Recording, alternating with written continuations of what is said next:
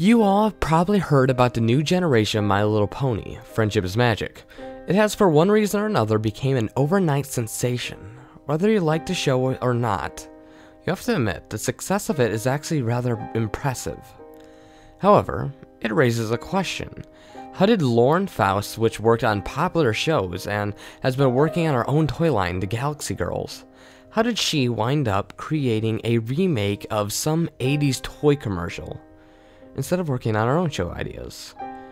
It could be that she's just nostalgic about her childhood MLP toys or something else.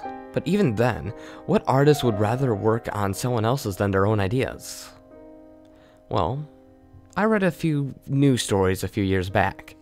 It was about six girls who all went to the same school and died on the same day. November 7th, 2004. A friend of mine uh, from NC sent me the article from the small local newspaper.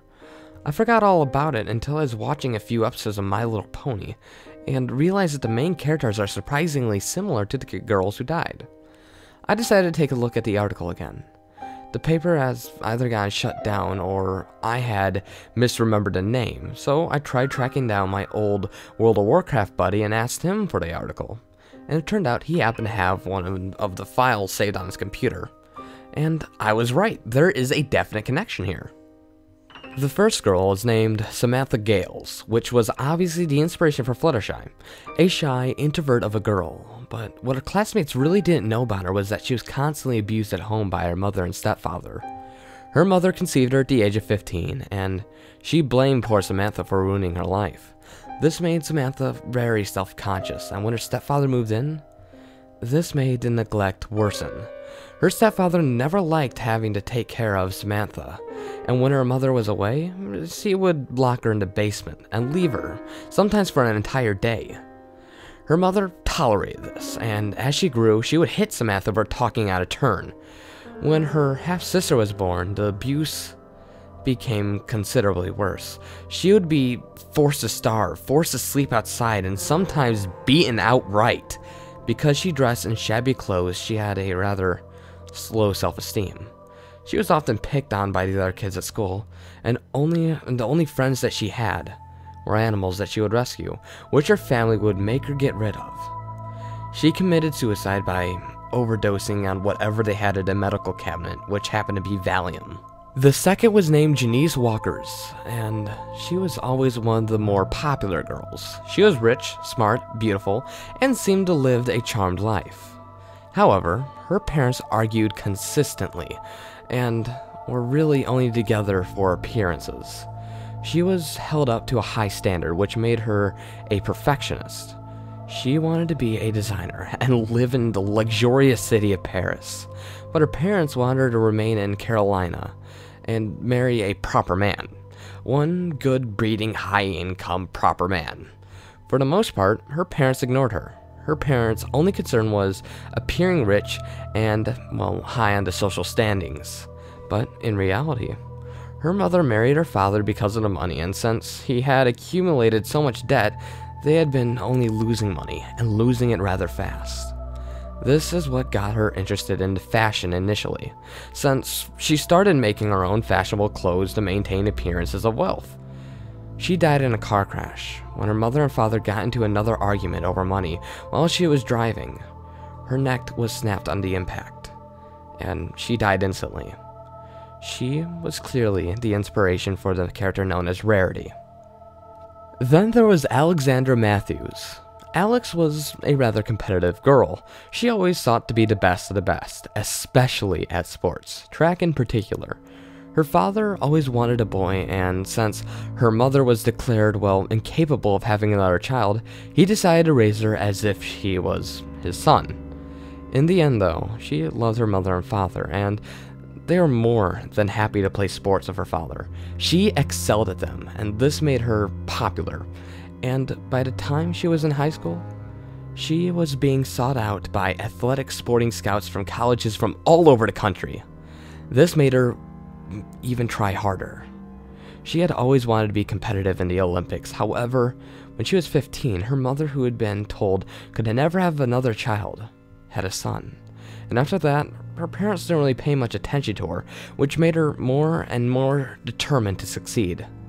She ended up pushing herself too hard at track, so she ne- neglected her friends, her grades, and even her personal health. At one point, she became so desperate that she started taking steroids.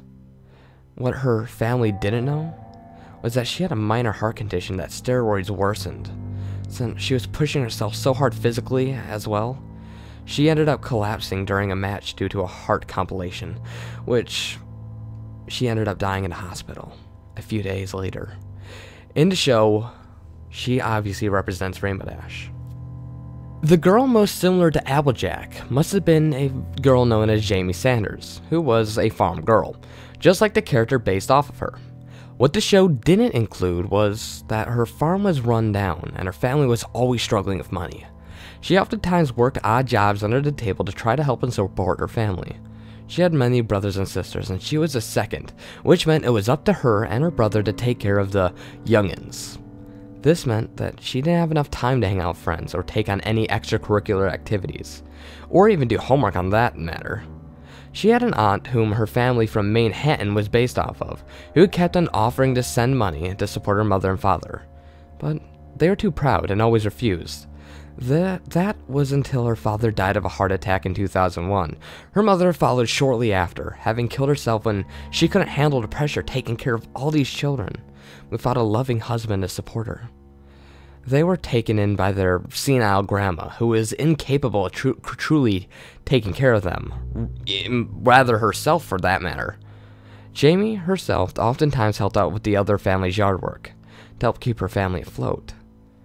She died when she fell into a wood chipper. The scene was gruesome and it took a while to actually get all the bits. Pinkie Pie's inspiration, and my personal favorite character from the show, probably has the saddest story out of all of them. Kathleen Jackson was a foster child who moved from home to home. Her birth father killed her mother and himself in a fit of rage when she was five. She couldn't quite settle into a good home. Some foster families who would take her in were merely interested in the financial support in adopting a child, which would bring in, and would refuse to feed her or clothe her. Even when she was in a nice home with a good family, the old memory still haunted her, breaking her fragile sanity into a million pieces. She would have nightmares of her mother screaming and bleeding, her father screaming for trying to calm her, but ended up coming after her. Next, by the time she was in high school, she completely snapped. She started to hallucinate and act out in class. Many of the other kids and even teachers assumed that she was merely hyperactive and was trying to be funny. She oftentimes would paint and draw about fantastical things dressed over top clothing, and all the while, her condition kept on getting worse and worse, the voices and images becoming more realistic and demented. She died when she jumped off a building, one of the voices having told her that she could fly. What makes this last fact even more chilling is that Lauren Faust even designed Pinkie Pie as a Pegasus, as seen in her early development sketches, originally dubbed Surprise. And last but not quite the least, Twilight Sparkle's inspiration was a student by the name of Cynthia Little. She was held up to a very high standard from a very young age. Her older brother was always getting awards for academic and athletic achievement, and she was held up to the very same high standard. She ended up neglecting her other facets in life to, in order to make sure that she got the same and very best grades. For a while, this actually worked. Her parents were proud of her accomplishments and bragged to her friends about not having just one genius child, but two. That's until the local private academy for the gifted started to become interested in her among several other advanced students. She knew that this would be the best opportunity that she could use to prove herself as the perfect number one child. But the pressure was so high. She knew that there were limited spots for new students, and she knew that there would be a test, an essay required to get in. She became a little desperate. She studied to the point where she would hardly eat, hardly sleep. And as the test closed in, she panicked. She opted to find a essay online to copy, and during the test, she resorted to cheating. When When she was caught, her parents were horrified, and she sank into a deep depression. Eventually, she hung herself to save herself from the shame for being that imperfect daughter. Now, you may be wondering why Lauren Faust was inspired to make a little sweet little children's show, inspired by such depressing and just downright disturbing events. Perhaps she felt some odd need to give the girls closure, or perhaps to tell their stories in the only way she knew how. Think about it. In one of the episodes named Cutie Mark Chronicles, each pony describes how they each earned their own cutie mark. Rainbow Dash was able to make a sonic rainboom on the same day that all the girls came in to see her and would be able to earn their cutie marks. Clearly, this makes you wonder about each girl's death in real life and on the same day.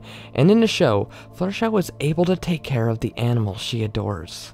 Rarity is a successful designer with loving parents, and Rainbow Dash, in fact, is a great athlete, while Applejack ran a successful farm. Pinkie Pie's happy with not a care in the world. And Twilight Sparkle was accepted into the exclusive school. Maybe just maybe she wanted to give the spirits of these girls what they always wanted. And you know what? I think they're happy. Don't you?